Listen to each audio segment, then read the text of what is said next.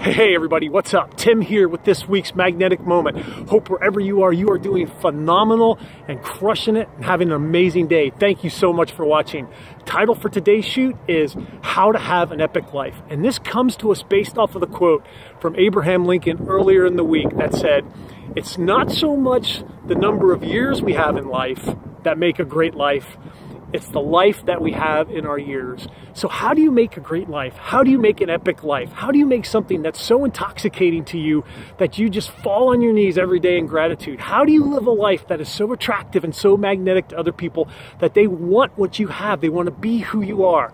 Well, there's three simple steps that I try to follow, and I think if you put them into place, they will work wonders for you. Even if you only put one of these into place, it will make a significant difference. And those three things are transformational. The first one is stop worrying. Give yourself permission to stop worrying. Think about all the time and energy that we put into worry. And what does it do? Where does it get us? It gets us nowhere. Worry is a manifestation of fear. Worry is putting faith in a negative outcome.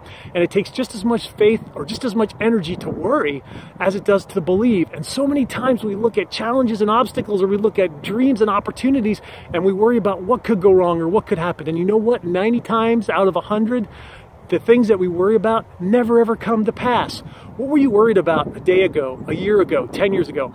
probably you can't even remember them.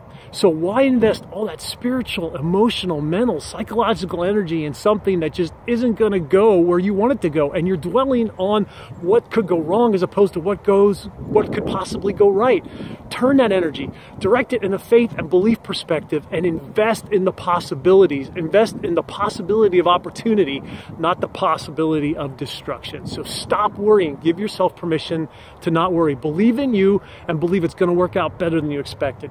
Number two is let things go. Stop being affected and moved by every little situation. Stop letting your emotions control you. Stop becoming angry on the drop of a dime. Stop being offended. Stop taking things personally. Stop participating in the emotions that you don't want to feel and in taking those and absorbing them and letting them dominate you. Your emotions were made for you to control, not to control you. And you just have to learn to let things go. And some of the most powerful people are the ones who are like mountains or like the ocean. They're unmoved by situations and circumstances and people because they're centered, they're congruent. They know who they are, what they're about, and what, they're, what they want. And because of that, they're not moved by these trivial things that come up. So we got to learn to let things go. And the final thing, and one of the most powerful, is learn to laugh. Learn to laugh and laugh a lot. Laughter is some of the best medicine in the world. You know that, I know that. It works from the inside out. It produces joy and gladness and happiness and lightheartedness, and it can drive sickness from us. It can drive difficulties and gray skies and depression, and it just is an awesome, powerful force. So learn to laugh.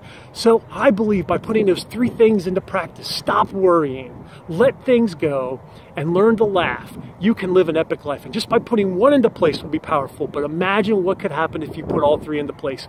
You will truly have an epic life that other people look at and are amazed and are drawn to you. And you will live fulfilled and satisfied all your days. So this is Tim with today's magnetic moment. Continue to have an awesome day. Put those three into practice. Thanks for watching again. I'll talk to you soon.